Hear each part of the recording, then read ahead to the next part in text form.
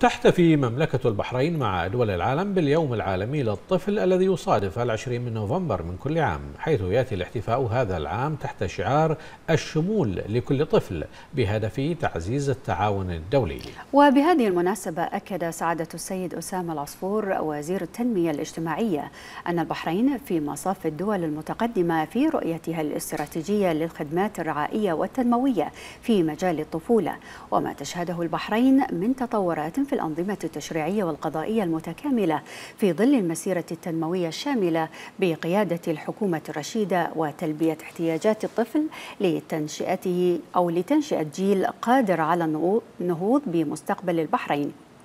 وأكد سعادته أن صدور قانون العدالة الإصلاحية للأطفال وحمايتهم من سوء المعاملة يمثل خطوة رائدة في منظومة العدالة وحماية حقوق الطفل في المملكة.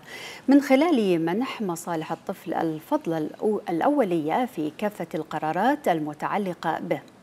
وأضاف أن جهود المملكة في صون حقوق الطفولة تستند إلى ما تم تحقيقه من منجزات أو من المنجزات التي كفلها الدستور وميثاق العمل الوطني والتشريعات العصرية والالتزامات الدولية واتفاقيات وقوانين حقوق الطفل المعتمدة.